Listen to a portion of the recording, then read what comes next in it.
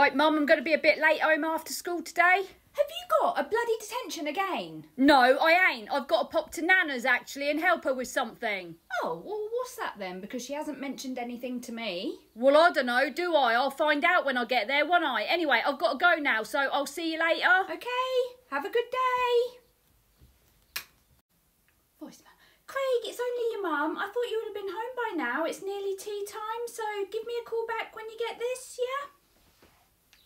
All right, Mum, I'm home.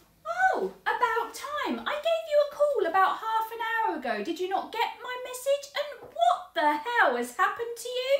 What? Nothing's happened to me. Why, Mum? Oh, look at you. Your shirt's all untucked, your tie skew whiff round your neck, and look at your trousers. They're covered in mud. And where's your school bag? Oh, I must have forgotten it, Mum. And the rest of you? What did Nana even have you doing? Oh, it was more like, what did Shannon have him doing in the middle of the park? Hey, I'm sorry. What